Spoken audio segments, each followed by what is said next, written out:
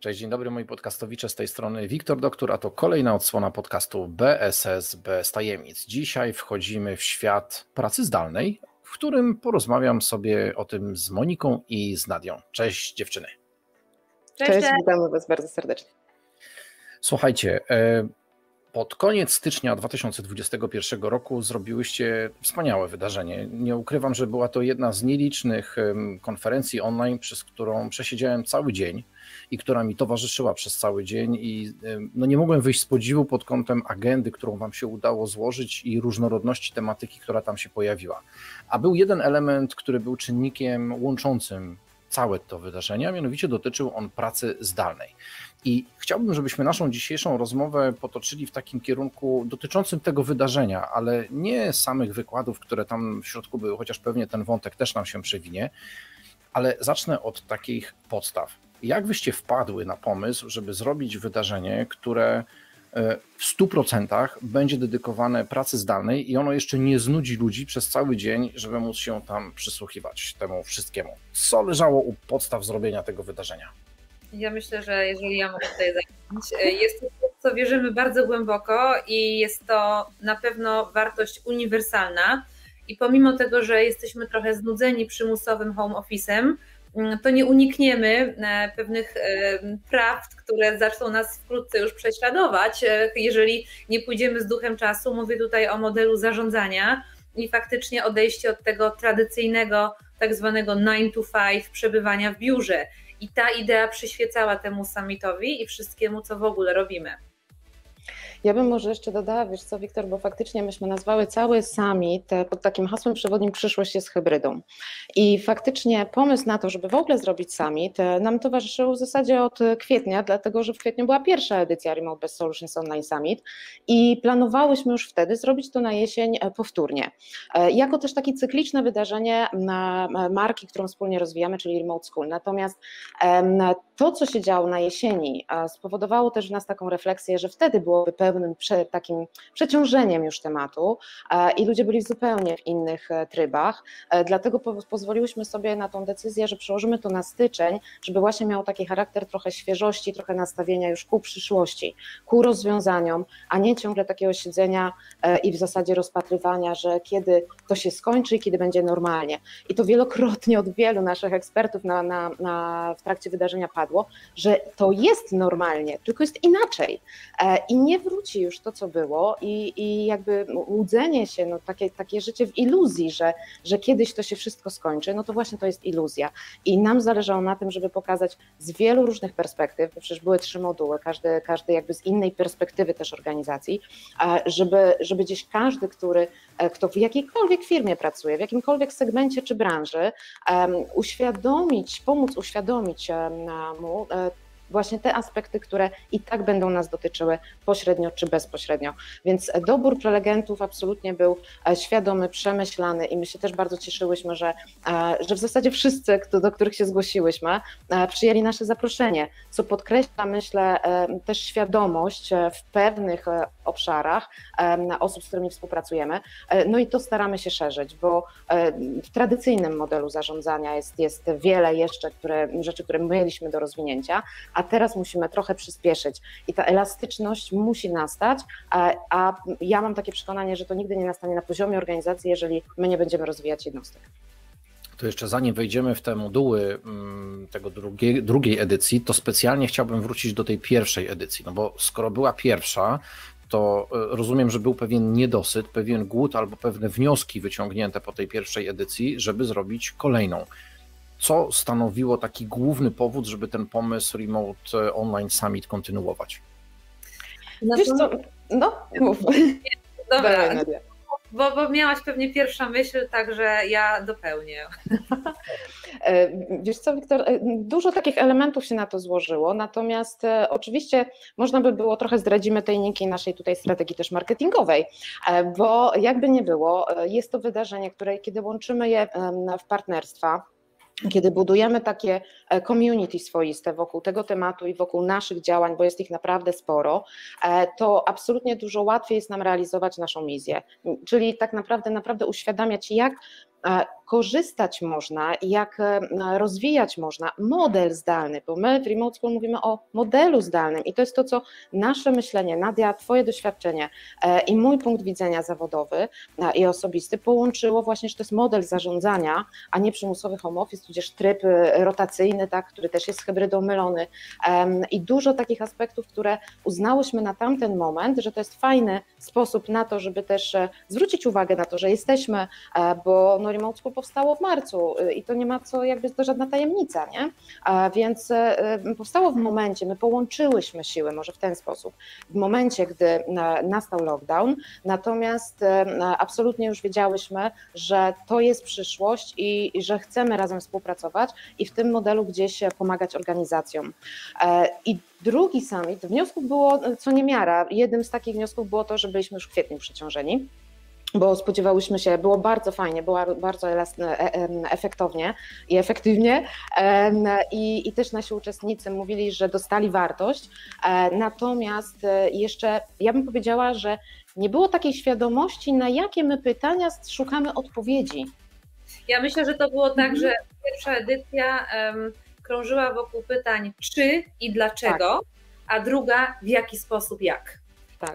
I to jest chyba ta główna różnica. Także na początku byliśmy bardzo tacy, w ogóle to była taka sinusoida, bo mm, w marcu, w kwietniu, w maju 2020, no właśnie to było coś zupełnie nowego, co się wydarzyło. Następnie pojawiał się temat powrotów do biura, czyli jednak zapomnijmy o tym zdalnym, bo jednak będzie normalnie, a potem zaczęliśmy zauważać, że no właśnie będzie po prostu inaczej. I tutaj um, dużo większa świadomość, ja bym też powiedziała, że pomimo w zasadzie sukcesu na tym, tym, tej pierwszej edycji, kiedy też ruszyłyśmy z naszym wspólnym brandem i, i miałyśmy tutaj e, dużo już zainteresowanych i dużo gości też zarejestrowanych na nasz summit, no to drugie wydarzenie, to co miało miejsce, e, to które miało miejsce teraz w styczniu, e, w zeszłym miesiącu, bo już mamy luty, było nieporównywalnie większe i na pewno bogatsze właśnie o moduły, o prelegentów i przede wszystkim też o połączone doświadczenia, bo wiele firm mm, specjalnie dobranych, celowo dobranych z różnych branż mm, przez nas, tak,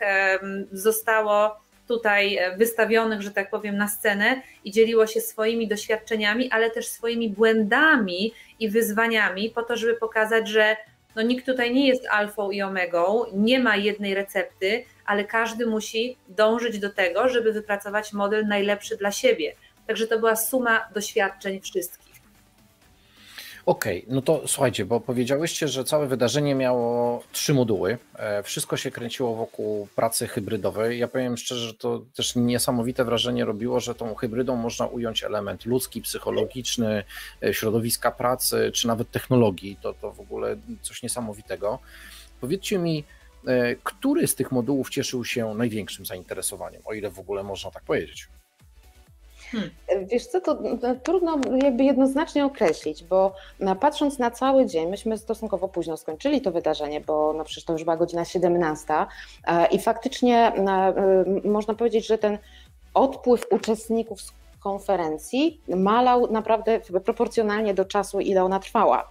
E, więc e, na starcie było nas najwięcej, e, ale to myślę taka dynamika, to było moje piąte wydarzenie online'owe. I ja bym powiedziała, że to jest naturalne, że no godzina 16-17 ludzie kończą też pracę.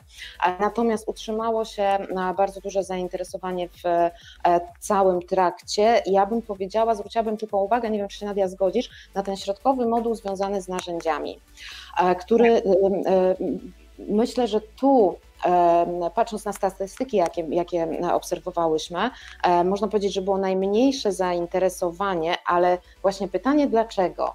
Dlatego, że z jednej strony myślimy, że e, no przecież my już opanowaliśmy Slacka, Zooma i Teamsa, e, to już co nas może w tych narzędziach zaskoczyć, prawda?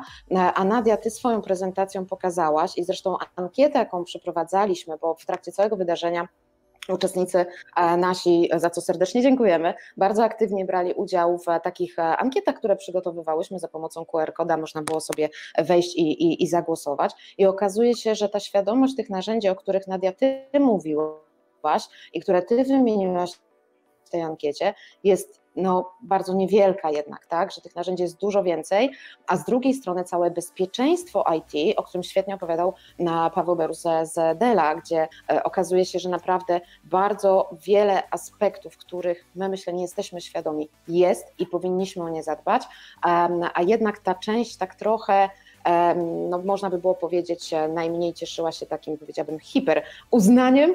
E, no i tyle tak z mojej strony podsumowując. Ale, ale ja, bym, ja bym dodała, że rzeczywiście, jeżeli chodzi o frekwencję, faktycznie tak było, chociaż i tak była wysoka, Natomiast faktycznie po tym pierwszym module był spadek, bo wszystkim się wydaje, że wszystko wiedzą. I ja też e, muszę powiedzieć, że bardzo często do mnie trafiają też prywatnie takie informacje, że nie no, narzędzia to my mamy, jakby jest, jest spoko. Ja się pytam, to jakie macie? No i się okazuje, że nie macie nic, tak? To prawie nic albo same podstawy. I pomimo tego trochę spadku uczestników, jednak moim celem, na przykład mojej prezentacji, czyli właśnie zdalnego narzędziownika, było w zasadzie trochę świadomie udowodnienie, że jednak nie mamy jeszcze pojęcia o tym, jak może być. I to też wyszło w ankiecie, bo w badaniu, które e, wykazało największe zaangażowanie podczas całego summitu. Najwięcej osób, kilkadziesiąt, wzięło udział właśnie w, w mojej ankiecie dotyczącej narzędzi i wyniki jednoznacznie pokazały, że w większości tych narzędzi, które i tak były w mojej ocenie podstawowe, które się w tym e, badaniu znalazły, w tej ankiecie, nie zostały odznaczone jako znajome i stosowane przez uczestników. I to jest dla nas jakby jednoznaczny wskaźnik, że traktujemy to trochę po macoszemu, i zupełnie e, niepotrzebnie, bo tutaj chyba jest największe pole do popisu dzisiaj. No ja ci powiem, że ja tą twoją prezentacją to byłem e, niesamowicie zaskoczony, jak e, niby znaczy, prosta stosunkowo technologia, poczekajcie, wezmę tutaj, dokończę swoją myśl, taka dosyć prosta technologia, ale dająca taki bajer, no come on, mhm. zobaczyć swoją twarz w jakimś tam radioodbiorniku, telewizorze, ruszającą się na lewo, prawo, e, duża, mała i tak dalej, i tak dalej, to jest coś, do czego takie codzienne, nazwijmy to Teamsy i Zoomy nas raczej nie przyzwyczajają, a spowodowało to to, że ja z perspektywy widza byłem mocno zainteresowany tym, co się dzieje na ekranie, bo o ile mamy takie stacjonarne siedzenie na ekranie, tak jak teraz, gadamy sobie przez StreamYarda, no dobra, widzimy siebie w kamerek, wszystko fajnie, ale tutaj takich bajerów nie ma. Tak? No jest nas mało. Ale ja cię teraz Wiktor zaskoczę. No dobra, rozmawiajcie, no. rozmawiajcie i zaraz wam tutaj zrobię niespodziankę. No to dobra, to ty nam rób niespodziankę, a Monika e, wskakujemy wiecie, do bo, bo jest, Tak, bo e, wiecie, z tymi narzędziami jest też tak, że my po prostu nie wiemy, że one są, nie wiemy, że można inaczej. I faktycznie, wiesz, Wiktor, na pierwszej części, bo pierwsza była o organizacji hybrydowej, potem były właśnie narzędzia i procesy i trzeci moduł to było, to, to było przywództwo w hybrydzie.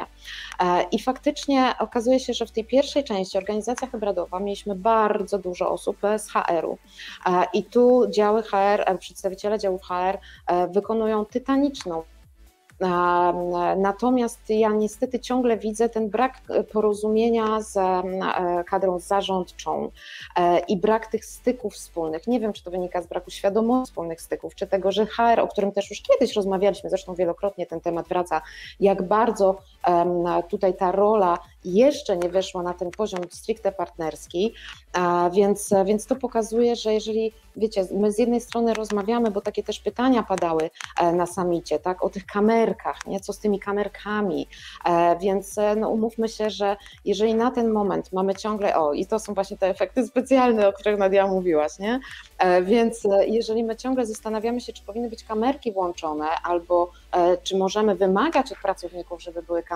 włączone, tak, czy jednak się umawiać i tak dalej, i tak dalej, no to gdzieś mówimy o takich rzeczach, które kurczę, no to jest e, kwestia jakiegoś szacunku, bo też Nadia o tym mówiłaś na samicie, że no wybaczcie, ale jeżeli spotykamy się z kimś na kawę albo w biurze, to nie siedzimy w kominiarce, tak jak powiedziałaś, tak albo tyłem do siebie.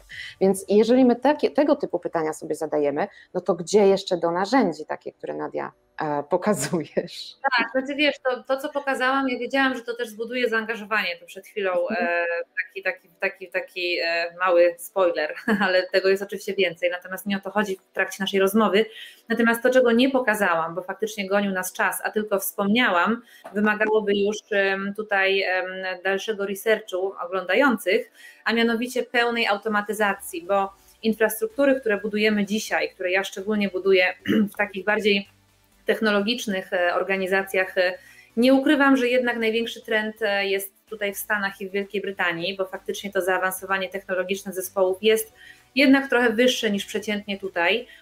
To budujemy pełne infrastruktury polegające na totalnej automatyzacji i uproszczeniu całej naszej zdalnej, całego naszego zdalnego narzędziownika, tak żeby te narzędzia były dla nas, e, pomagały w naszej pracy, były taką trochę wirtualną asystentką, mm, przenikały się nawzajem i tworzyły pewną całość. Nie ma nic gorszego niż logowanie się do jednego narzędzia, potem do drugiego, potem ktoś odpowiada na trzecim, a potem jeszcze na Google, na mailu gdzieś tam spływają nam wiadomości i my manualnie na nie znowu odpowiadamy zupełnie e, można to wszystko uprościć e, i faktycznie nawet są teraz takie inteligentne programy, które nam wynajdują pewne prawidłowości, segregują nam wszystko automatycznie, bądź e, no, nawet odpowiadają czasami za nas. To nawet jest bazowane na takim systemie ticketowania w, dla działów obsługi klienta w spółkach e-commerce'owych, które teraz też w dużej mierze za granicą są w zupełności zdalne. No i tutaj to są takie ciekawostki, czy też wirtualne biura, takie w chmurze, po których możemy chodzić, które możemy sobie chodzić wirtualnie, które możemy sobie e, w tej, w tej chmurze odwzorować wizualnie nasze biuro fizyczne, tak aby osoby przebywające poza biurem także przebywały w swoich pokojach i my widzimy, że oni tam są, więc możemy sobie to też obrędować po swojemu, więc e, czujemy tutaj, że ten duch organizacji nam nie umyka. Także jest tego bardzo, bardzo dużo. No to jest prawda, że tych narzędzi było od groma i tych tematyk, które tam były też poruszone było od groma, ale zakładam, że ponieważ już mamy ponad tydzień od tego całego waszego wydarzenia, no to też już swoje własne przemyślenia e, macie na, na zasadzie co wyszło, co nie wyszło. Gdybyście mogły mi powiedzieć, e, takie trzy rzeczy, a dla każdej z Was, trzy dla Moniki, trzy dla Nadi, co było najważniejszym takim outputem z całego tego wydarzenia? Co uważacie, że rzeczywiście było takim hitem albo takim Waszym spostrzeżeniem, że te wykłady, te spostrzeżenia, te, te prezentacje e, dały, czy to Wam, czy też uczestnikom? Pierwsze mi takie przychodzi do głowy, wiecie co, że ludzie chcą rozmawiać, że potrzebują rozmawiać, że ja nie wiem, czy w organizacjach jest taka przestrzeń, a to też e, sporo refleksji było przy tym właśnie module przywództwo, hybrydowa, hybrydowe przywództwo.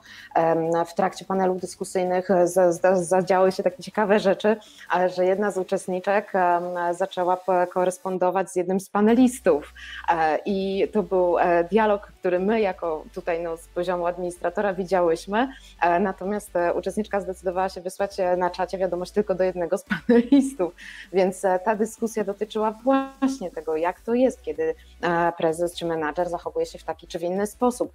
I, i, I, ja ciągle mam takie poczucie, że naprawdę ludzie potrzebują rozmawiać i że tej przestrzeni w jakiś sposób, z jakiegoś powodu w tych organizacjach nie ma.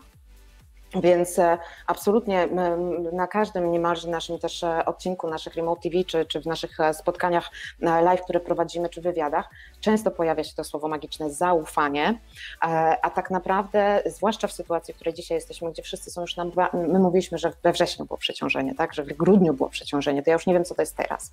Więc ta przestrzeń jest absolutnie potrzebna do tego, żeby dać sobie taką, takie miejsce, kurczę, na spuszczenie trochę tych emocji jednak i e, nie na jakieś szumne oczekiwania wobec siebie, ale na to, że wszyscy jesteśmy ludźmi, że tak samo jak pracownik chce pracować, tak samo menedżer chce dostarczać e, rozwiązania do zarządu. Ja ciągle mówię, że naprawdę w organizacjach nikt nie jest po to, żeby się nawzajem zadowalać. Jeżeli mamy jakiś cel i wszyscy przychodzimy do tej pracy i mamy chęć realizować ten cel, to zejdźmy w końcu z tej pozycji um, tak, takiego, nie wiem, pana i władcy, um, który na siebie bierze za dużo odpowiedzialności, menadżerowie się stresują, jak mają angażować, jak mają motywować, ciągle wożą drzewo do lasu, dajmy sobie przestrzeń na to, że możemy być, nie wiem, zmęczeni, wkurzeni, możemy mieć dość. I jak tylko sobie zrobimy miejsce na to, to się okazuje, że magicznie nagle, uff, dobra, to sobie ponarzekaliśmy, nie? to co robimy, tak? I jest zupełnie odwrócona po prostu sytuacja. Więc ja na pewno mam taką refleksję, że te osoby, które przyszły na summit, które bardzo aktywnie uczestniczyły w dyskusji, w, na czacie, e, które potem do nas pisały po wydarzeniu maile, za które też wszystkie serdecznie dziękujemy, e, naprawdę potrzebują miejsca do rozmowy.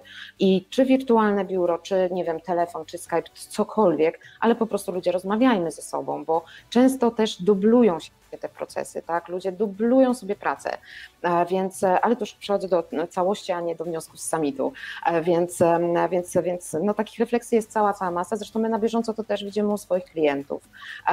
Boimy się też pewnych procedur, pewne, słowa procedura nie lubię, wolę schemat postępowania. E, nie nazywamy też pewnych rzeczy, e, dlatego że boimy się, jakby to było potem wyryte w kamieniu i nie, i nie do zmiany, prawda? Więc nie, nie, dajemy sobie zobowiązań, bo nie wiemy, jak będzie. Jak nie wiemy, jak będzie, to nie mówmy porażka, bo to już w klasycznym modelu zarządzania wszyscy wiedzą, że brak informacji jest gorszy niż zła informacja.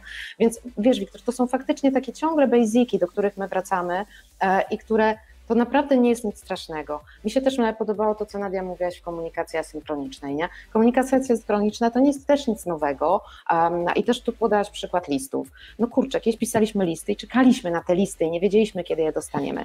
E, ja też często mówię, kiedy pracowałam z firmami, które na przykład pracowały na, zmianowo i zdarzało mi się na przykład, nie wiem, na budowie spędzać noc, bo trzeba było skoordynować prace nocne, powiedzmy, tak, zarządczo. E, no i, i, i też przekazanie zmiany nocnej na dzienną, to też jest komunikacja asynchroniczna Więc i ciągle mam takie przekonanie, żebyśmy się trochę no nie straszyli sami siebie, że to nie jest żadne nowum, e, tak, tylko to są rozwiązania, z którymi myśmy się spotykali w normalnym, codziennym życiu dużo wcześniej.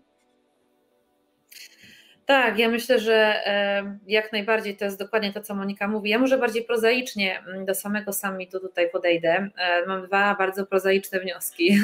Jeden to jest taki, że bardzo się cieszę, że przy tak dużej liczbie uczestników i też osób zarejestrowanych nic się nam nie wysypało. To jest e, olbrzymi sukces. ani razu, ani razu.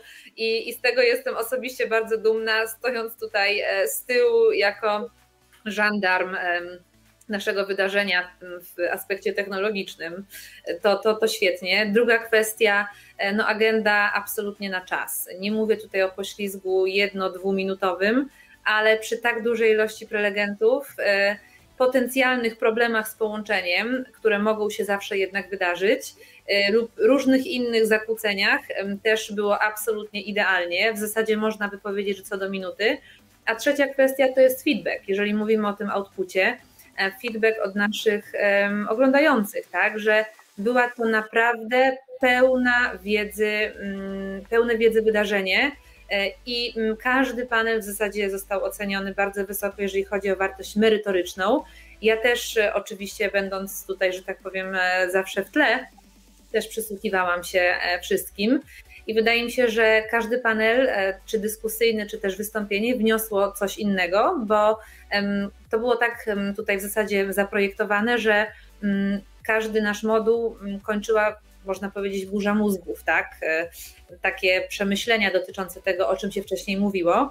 E, I to było bardzo fajne, bo to było też e, stymulujące właśnie dla, dla uczestników, którzy bardzo ochoczo, tak jak Monika powiedziała, nieraz nawet prywatnie się wypowiadali. Mm, I, I rzeczywiście myślę, że wniosło to bardzo dużą wartość pod tym kątem, że My też zauważyłyśmy mm, bardzo duże, bardzo duże zainteresowanie samą naszą stroną pod względem wejść. Jak bardzo podniosły się też wejścia na wszelkiego rodzaju artykuły. Też ja prowadziłam takie sondaże mm, podczas samego summitu odnośnie tego, o czym ludzie chcą usłyszeć. I nawet obiecałam im publicznie, jakie artykuły się pojawią na naszym blogu. E, no i teraz czas tę obietnicę dotrzymać, bo zapotrzebowanie jest. A powiedzcie mi, e, czy czegoś Wam zabrakło w tym wydarzeniu? Mm, wiesz co, e, czy czegoś mi zabrakło w wydarzeniu? Co, trudno mi teraz powiedzieć. Ja, ja miałam, zakończyłam to wydarzenie z takim poczuciem w zasadzie kompletności, bo, bo faktycznie to, że, że e, myśmy naprawdę dużo czasu poświęciły na przygotowanie. Prelegenci e, nasi e, taką opieką osobistą byli otoczeni od początku stycznia. Przechodziliśmy testy wszystkiego, każdego rodzaju możliwości, możliwe, tak? Więc czy czegoś mi zabrakło? No oczywiście no nie jest to wydarzenie stacjonarne, gdzie można podejść i porozmawiać. Więc, więc no to, to, to, to wiemy, że to jest jakby taka zasadnicza różnica. Natomiast ten czat jednak dawał takie możliwości. Ja na dzisiaj powiedziałabym, że e, wiesz, pod kątem takiej organiza organizacji e, przekazanej wiedzy, satysfakcji i, prelegentów, e, i uczestników, powiedziałabym, że to był taki event kompletny. Zawsze, dla mnie osobiście, zawsze pewnie wszystko można zrobić lepiej, tudzież inaczej, natomiast na to, co sobie zaplanowałyśmy, ja jestem, że tak powiem, ukontentowana. Tak, tak jest. Tak, nie, mi się wydaje, że też, mimo że e, jestem perfekcjonistką zdecydowanie i zawsze się czegoś doszukam, to wydaje mi się, że mm, bardzo tutaj proaktywnie podeszliśmy do tematu. Dałyśmy sobie naprawdę dużo czasu. I w zasadzie sam summit był takim zwieńczeniem e, bardzo długich i żmudnych działań, które przyniosły naprawdę fajny efekt, przynajmniej moim zdaniem. Wiesz, ja wam... program, no. ja ci jeszcze powiem, e, program, który finalnie powstał, to jest piąta wersja programu. Nie? A więc e, tu pomysłów była cała masa. My w zasadzie program konstytuowałyśmy od listopada. W grudniu miałyśmy ostatnie dogrywki e, z, właśnie z prelegentami, potem no, strona internetowa. Tak oficjalnie promocja ruszyła e, w okolicach 18-20 grudnia. E, no i, i faktycznie przerosło to nasze oczekiwania pod kątem też zapisów, więc naprawdę to, co też było potrzebne, bo mówię, też żeby nie robić przyrostu formy nad treścią, też żeby się jakoś teraz, nie wiem, nie krygować, o Jezu, a mogłabyśmy robić lepiej to czy tamto. Naprawdę uważam, że to był dobry event i, i ja jestem osobiście zadowolona. A ja wam powiem, czego mi zabrakło. Bo Dawaj. ja tak e, po pierwsze znałem pierwszą edycję, po drugie przy drugiej przesiedziałem praktycznie non-stop e, i zabrakło mi jednego na sam koniec, a mianowicie informacji, kiedy będzie trzecia część. Nie, ale poważnie, śmiechem, chichem. E, to jest tak, że widać absolutną ewolucję w agendzie tego mm, wydarzenia i w zrozumieniu tematu oraz nakreślaniu konkretnych obszarów, które dotyczą zarówno pracy zdalnej, jak i mm, tej pracy hybrydowej. Bo to, że tutaj w tej mm, agendzie tego wydarzenia wszystko było pod hasłem przyszłość jest hybrydą, to też ja jako widz, jako uczestnik e, oceniam, że nie wzięło się znikąd. I już nie można mówić tylko o pracy zdalnej tak? Teraz trzeba wejść w ten poziom tego, co ty Nadia powiedziałaś, już nie dlaczego, tylko właśnie jak, tak? tego e, wejścia na kolejny poziom realizacji naszego podejścia do wykonywania pracy, niezależnie od tego, czym ta praca jest. Oczywiście każdy na tą pracę patrzy ze swojego własnego e, podwórka. Ja patrzę z sektora usług, tak? to jest moja perspektywa. Ale przecież pracować zdalnie pracują też i osoby wykonujące e, prace fizyczne, tak? Nagle się okazało, że one też muszą zmienić swoje relacje z przełożonymi, partnerami w pracy i tak, tak dalej. Więc powiem tak, narobiłyście smaku tym swoim wydarzeniem i y, ja się spodziewałem, że ja na koniec usłyszę, no to widzimy się za pół roku, a wtedy będziemy mieli, nie wiem, dodatkowy jakiś przymiotnik, który będzie opisywał nam to wydarzenie. Na pewno tak będzie. Co, no, e, tak, no, jeżeli będzie, e, to, to, to, to myślę, że jesień, bo to też musi się trochę tego materiału. Musimy przejść do kolejnej fazy, nie? E, w takiej ewolucyjnej powiedziałabym. Natomiast no, my mamy całą masę na, na jakby tutaj na bez jakby, dosłownie, tak, action plan przygotowany na kolejne miesiące. E, więc e, będzie możliwość absolutnie takiej wartości rozwojowej, e, doświadczania takiej wartości rozwojowej. Nie znikamy do następnego summitu. Ja też sobie pozwalałam faktycznie na, na takie określenia, że to takie nasze sztandarowe wydarzenie i to tak pewnie zostanie. Natomiast dzisiaj trudno właśnie gdzieś tam wyrokować, na, na pewno to nie będzie kwartał, na pewno to nie będzie pół roku. No chyba, że coś się faktycznie, nie wiem, takiego wydarzy, że będzie, będzie to y, jakby przyczynek do tego, żeby faktycznie całodniowe wydarzenie zorganizować. Natomiast w międzyczasie, w oczekiwaniu na trzecią edycję, zapraszamy serdecznie do nas. Tak, do nas to znaczy gdzie? Ja może tutaj doprecyzuję. Do, nas, do domu albo najlepiej na jakiś event. Taki A gdzie teraz jesteśmy, powiedzcie? No właśnie to jest ta, ta, ten fenomen, nie? że w zasadzie trochę tak wszyscy, wszyscy w swoich domach, prawda? No, ja tam siedzę w swoim biurze, a nie w domu. No to ja tobie zazdroszczę bardzo, bo niestety. E, I właśnie to jest w ogóle jedna fajna rzecz, zanim przejdę do puenty tego, co chciałam powiedzieć, że my nie jesteśmy absolutnie przeciwne jako remote school biurom, bo to jest jakieś bardzo błędne tutaj rozumowanie czasami, bo, bo ja się spotykam z tym, że na przykład mnie wszyscy kojarzą z pracą zdalną, więc do mnie mówią, no tak, ale biuro jest potrzebne. No oczywiście, że jest potrzebne, ja w ogóle tęsknię za tym biurem bardzo. Nikt nie mówi o siedzeniu, zamknięciu w domu i o tym, że to jest normalne, bo to nie jest normalne, nie ma nic wspólnego z normalnością I tutaj w pracy zdalnej nie chodzi w ogóle o miejsce, ale to jest to, o czym też, no, o czym przed chwilą też powiedziałeś, Wiktor, chodzi o metodologię pracy. I ja powiem jeszcze raz tę samą rzecz, którą powiedziałam zresztą nawet wczoraj, bo mam przyjemność uczestniczenia w nowej aplikacji social mediowej teraz, której mocno słychać, czyli Clubhouse. Miałam przyjemność swojej pierwszej sesji, na której nawet było sporo uczestników i powiedziałam jedną rzecz, na którą usłyszałam komentarz, że gdyby były opcje e, wysyłania serduszek, to bym dostała dużo. To znaczy, że to się przyjęło, więc chętnie powiem o tym, że chodzi o całą metodologię. E, mówiłam o tym też na samicie, że to, co stosujemy dzisiaj, metody, które stosujemy dzisiaj w zarządzaniu, przede wszystkim ewoluowały na podstawie rewolucji przemysłowej poprzedniej, tak? kiedy mieliśmy niesamowity rozkwit fabryk, pracowników fizycznych przede wszystkim i faktycznie ten model godzinowy który też nie wziął się znikąd, tylko to, że dzisiaj bazujemy na tym 40-godzinnym tygodniu pracy, to też się wzięło z lat 20. w Stanach, kiedy to najpierw pracowało się po 6 dni w tygodniu, pracownicy fizyczni byli przemęczeni, zaczęli pracować 5. I teraz przechodząc do digitalu, w ciągu ostatnich kilku lat te metody pozostały, natomiast nie jesteśmy w stanie mierzyć tylko i wyłącznie czasem e, wyników naszej pracy. Y, I teraz powinna pojawić się inna metodologia, która oczywiście już istnieje, natomiast cały czas e, mamy ten opór przed zmianą e, i wydaje mi się, że w nieszczęsny sposób koronawirus stał się tym katalizatorem i takim, jak to się mówi, kubłem zimnej wody na głowę, że koniec, trzeba zrobić mocne cięcie i organizacje, które zaczną zmieniać swój model zarządzania e, w oparciu o faktycznie wynik e, pracy, tak, zrozumienie po co pracujemy, traktowaniu siebie jako ludzi dorosłych e, i faktycznie nawet mierzenie tego zaangażowania pracowników, zrozumienie pracowników, po co pracuję, po, to, po co tutaj jestem, a nie piąteczek, piątunio muszę wysiedzieć i idę do domu, a najlepiej to y, tylko dajcie mi umowę o pracę na czas nieokreślony, bo na pewno mnie oszukasz pracodawco to się skończyło i teraz y, coraz więcej mądrych organizacji zaczyna to y, już wcielać w życie, jeżeli chodzi o swoje podejście, dopasowanie pracowników do organizacji, do rozwoju i o tym właśnie jest tryb zdalny, hybrydowy, jakkolwiek. Tu chodzi o metodologię, a nie o miejsce. Ale kiedy myśmy jako społeczeństwo nie mieli oporu przed zmianą? To nam towarzyszy przez stulecia i, i, i, będzie towarzyszyło przez e, kolejne. Słuchajcie, pół godziny za nami, e, będziemy się zbliżali do końca. Ja mam takie jeszcze jedno pytanie mm, zamykające do Was, e, bo jeszcze raz to podkreślę, to był bardzo wartościowy materiał.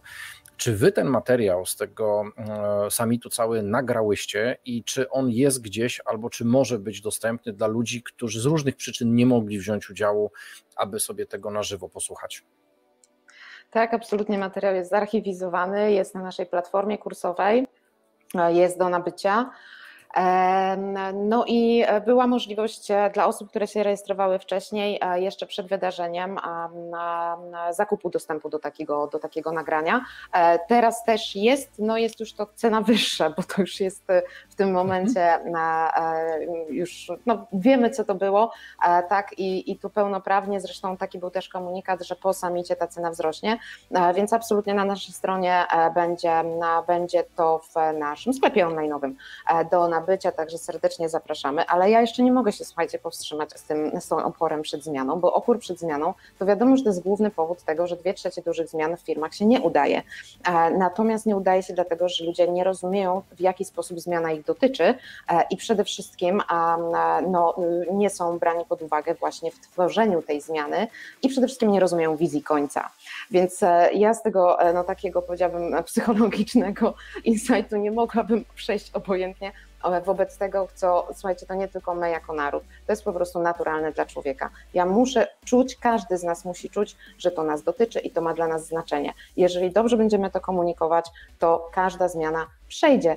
Twórzmy je razem po prostu. To dotyczy nas wszystkich teraz. Dlatego ja też na swojej prezentacji powiedziałam coś takiego, że naprawdę wygrają ci, którzy zdejmą korona, korony.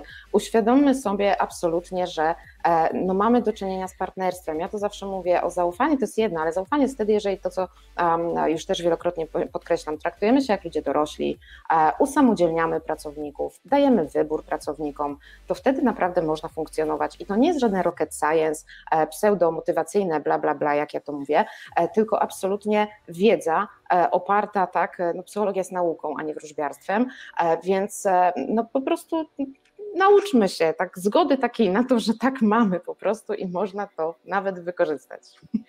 Czyli wracamy do podstaw, czyli do komunikacji, żebyśmy wiedzieli, w jaki sposób to dobrze zakomunikować, aby wiedzieć, czego się możemy spodziewać. Słuchajcie, dziewczyny, ja Wam mega, mega dziękuję. Nadia, do Ciebie jeszcze ostatnie pytanie, żebyś nam tu postawiła kropkę na D.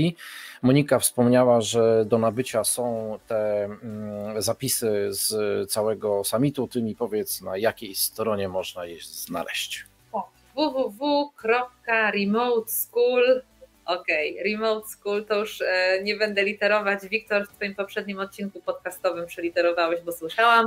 www.remoteschool.net. Tam mamy zakładkę e, i summit możecie sobie zobaczyć, jaki był e, eventy.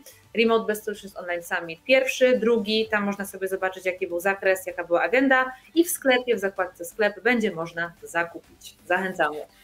Super, bardzo dziękuję. Tak, masz rację. Ja e, ostatnim razem e, zapowiadając Wasze wydarzenie, pozwoliłem sobie na przeliterowanie tego po polsku i tak skrzywdziłem język angielski, że stwierdziłem, że już nigdy w życiu nie będę literował w taki sposób, więc e, dzisiaj tego też nie zrobię. Natomiast do opisu tego odcinka zostawimy linki do Waszej strony, tak aby osoby, które przegapiły to znakomite wydarzenie, miały okazję sobie przekonać się na własnych oczach i uszach co takiego uszło ich uwadze. A ja Wam za dzisiaj serdecznie dziękuję.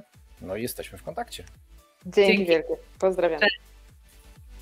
I to już koniec dzisiejszego odcinka, w którym Nadia razem z Moniką podsumowały swoje znakomite wydarzenie. Obserwujcie te dwie dziewczyny, bo mają naprawdę niesamowite pomysły, no i super kontakty z bardzo ciekawymi ludźmi. Także Remote Summit, wersja trzecia, na pewno będzie bardzo interesującym wydarzeniem.